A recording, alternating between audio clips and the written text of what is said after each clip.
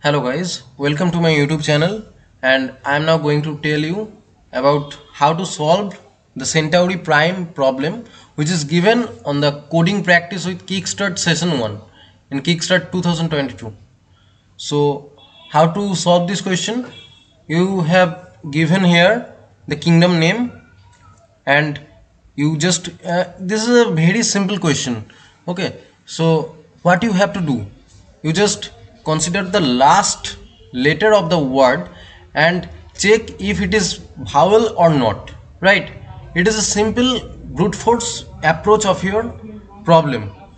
So just access the last letter and check if it is capital vowel or small letter vowel right? So in this way you can solve the problem whole problem. And one main thing which you have to consider that if the last letter is capital Y or small y then the kingdom will be ruled by nobody right? So you have to consider the capital or small y both. Don't use uh, separately uh, that only capital Y or only small y. That will be not your uh, complete solution. Okay so now I am going to uh, show my code to you. That is here.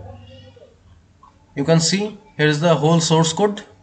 So first I take the uh, input test cases and then I just initialize a cases variable to 0 then I run through a while loop to check the all test cases. Okay. So uh, I just increment the cases with plus 1 because uh, in the output section you have to print this part. So case 1 case 2 case 3 this 1 to 3 can be uh, done by this cases variable. Uh, here you can see that uh, case has then cases. That will be your uh, 1 2 or 3 so on. So firstly uh, we just uh, take a string then we input input the uh, word in the string then what I have told you recently I just uh, do the same in my code. I uh, use this back function to access the last letter of the word and then I check if it is capital vowel or small vowel. If this statement satisfies then what will it the code do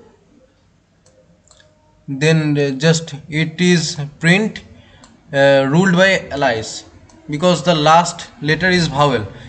If it is not possible so then it checks that the last letter is capital Y or small y. If it is true then it will print ruled by nobody as per the uh, question uh, statement right? Here is the question statement. Without a ruler. And now the else part comes. In this part you just uh, consider the whole uh, consonant terms. So if the last letter is consonant the answer will be ruled by Bob right? And in this way you can check the whole source code and submit your own code. Thank you